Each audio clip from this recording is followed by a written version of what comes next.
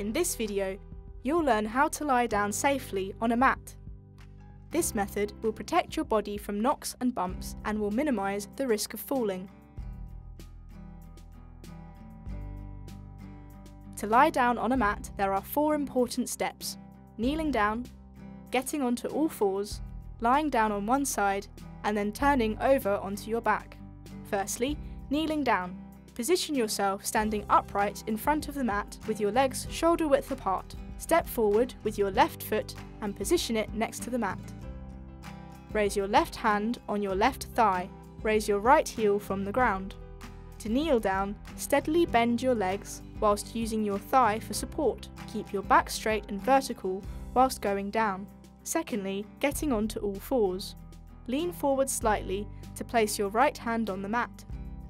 At the same time, place your other hand on the floor whilst opening up your left hip so that you can put your knee on the floor. Once you're on all fours, move to the middle of the mat.